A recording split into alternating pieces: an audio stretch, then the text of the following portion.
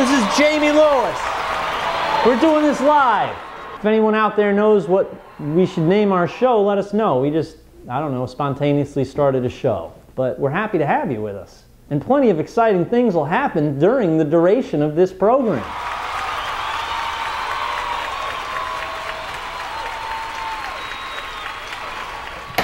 This show is going to kick you in the asshole. All right, you're going to need intravenous preparation H. It's going down. Next, I would like to uh, introduce you to Ronnie Bobbins. If Ronald Reagan and Tony Robbins were to have a baby, this is what would happen. Ronnie Bobbins. If Donald Trump and Rosie O'Donnell had a baby, this is Donald O'Donnell. If Hillary Clinton and Lindsay Lohan had a baby, this is Hillary Lohan. All right? So now I'd like to announce our next guest. This is Commission Girl. Say hello, Commission Girl, and come on in. What's up?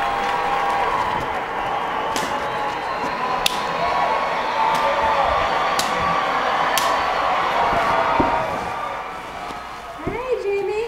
What's up? How are you? Good. How you doing? A little busy today, but doing pretty well. Thank you. Yeah. All right. So tell us about the the robberies. Oh, no. No robberies today. It's time for spin the wheel.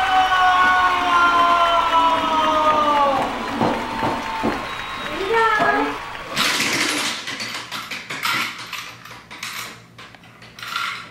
It's dance off! All right. Let's do this. Oh. nice.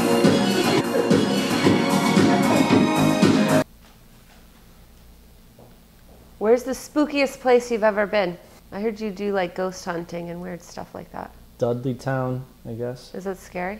Not really. I've been to Ed Warren's gravestone. I did a seance. Yeah, that shit is creepy as fuck. So, uh, what's up with all the drinks on the desk tonight? I don't know. Sorry about that. Tell us about your day. Um, well, I'm looking in the market for some new sparkly, some new sparkles for my makeup. Tell us a funny ass story, like about gynecologist or something.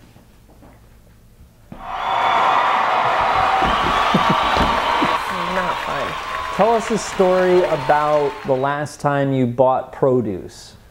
Whew. ah, I bought some giant peaches. What did that have to do with anything? All right, so you bought a bunch of fucking peaches, onions, and tomatoes. But Do you have some, a, a certain meal in mind that was guiding your your shopping experience through the produce section? I don't really, I don't really, uh, oh my gosh, are you okay? Jeez. Hurt yourself? Oh no. Isn't that right, Mr. Puppy Pants? All right, I don't know. I think I'm gonna go. You know how hard it is to, to do this show? Can't just sit there and take it like a loser. Ladies and gentlemen, my next guest is Matt.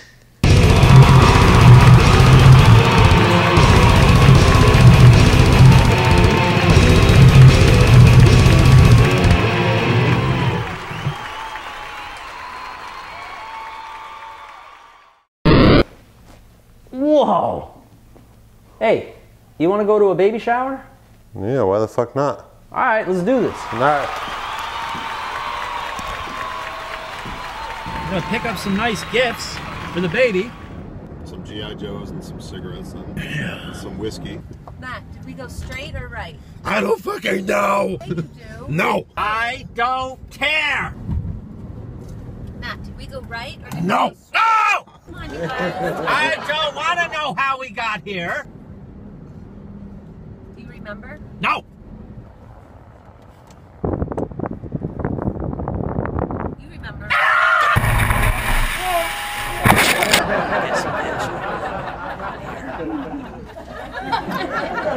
Can't reach Three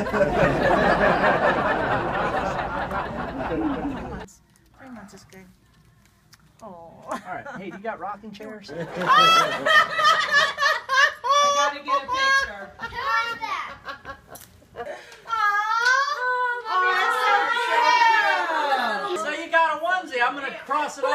It off on the bingo. Does they have to create Bingo. Opposite of a sausage fest. There it is. It's a baby in there.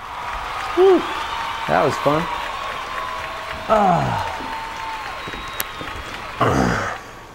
That's right. So, you think you're gonna host the show for me? I gotta, I gotta go. I got bad diarrhea. Yeah, I guess so. I got a suit somewhere.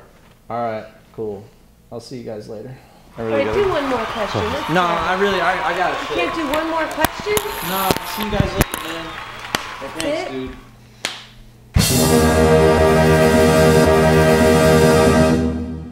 Okay, so you get caught. You've done wrong. You do your time. So where do you go from here?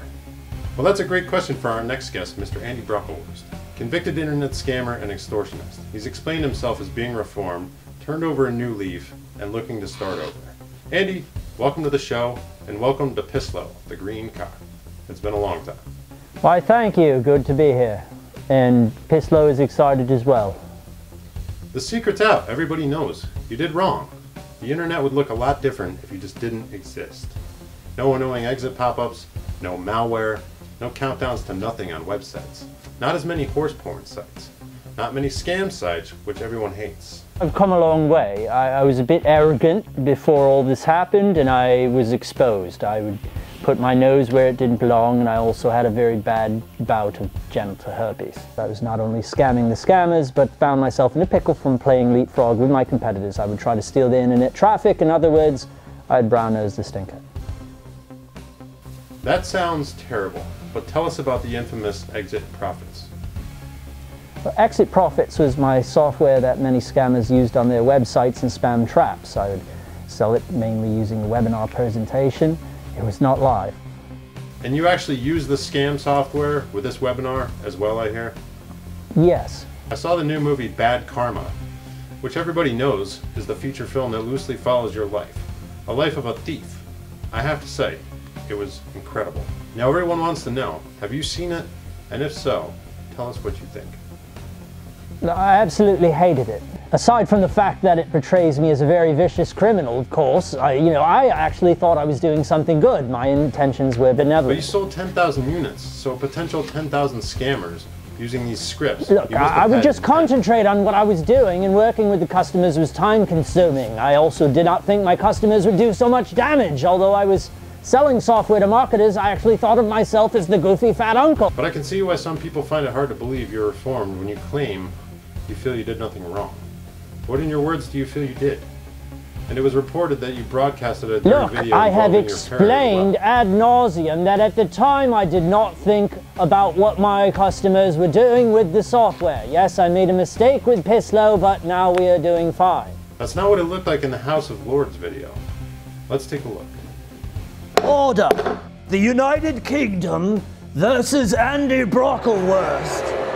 Chamber commencing. Mr. Brocklehurst, have you retained counsel? Yes, sir. I have carefully chosen to represent myself for these allegations. You engaged in the selling of software that internet scammers from all over the world would use to obtain ill gotten profits. Yes, sir. I understand the consequences of my actions. Perhaps I should not have distributed all of the bots. I should have been careful.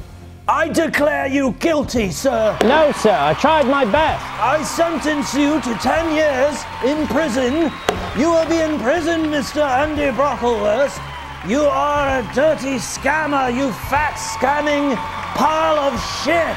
You go ahead, Belvin, take him away. You No, are guilty of everything. You are the most Mm. guilty fat man this court has ever seen.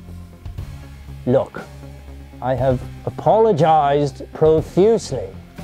Okay, we need to go to a quick commercial break, but we will be right back with Andy Brocklehurst.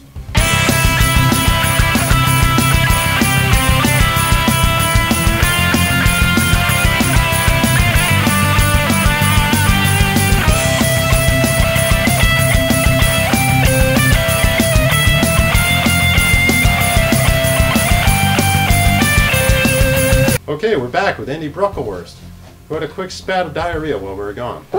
But now that we're back, I thought I would bring in two specialists the internet marketing detective Fucklehurst, and internet entertainer Jamie Lewis. Gentlemen, it's great to have you on. What do you think of that?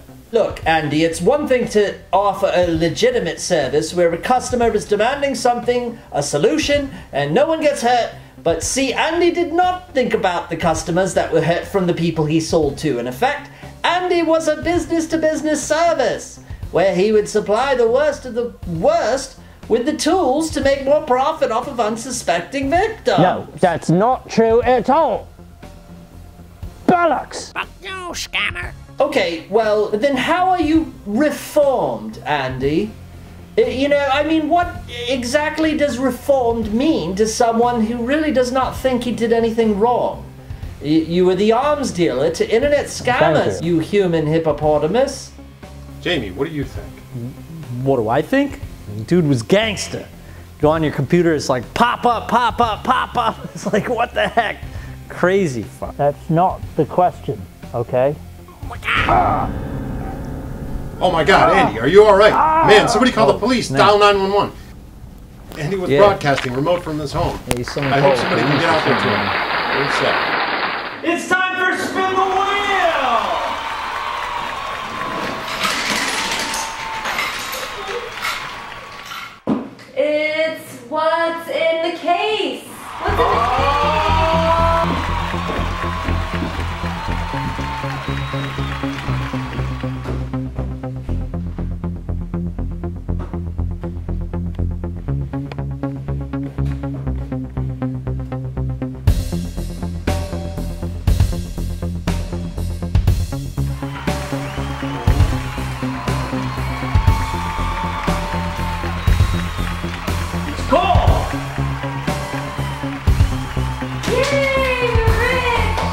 You know what?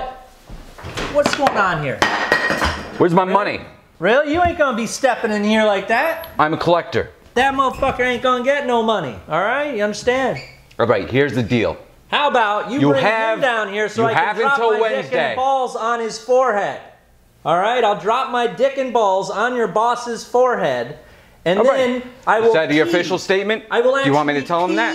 I will. on his Okay. face. Oh, okay. Your words, right? Yes, tell him. Fine. Please, I'm gonna go let tell him that. Urinate on his I'm gonna face. tell him he you want to piss on his face, and Yes. that'll be it. You are the man. You You, are a great messenger. It's time for spin the wheel.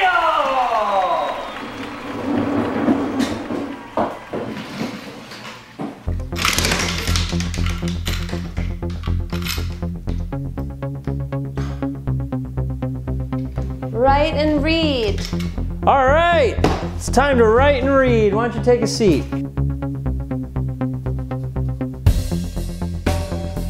All right. There you are. You can read for everyone. We stay fly, no lie, like showbiz, hips and thighs. Oh my, stay focused. All Let's give her a round of applause.